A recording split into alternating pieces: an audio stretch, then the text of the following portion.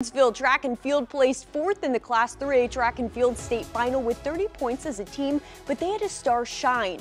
Last week, Edwardsville senior Brandon Battle ran a 46.40 in the men's 400 meter, ranking him first in the state. Today, he added to his decorated record with three more gold medals.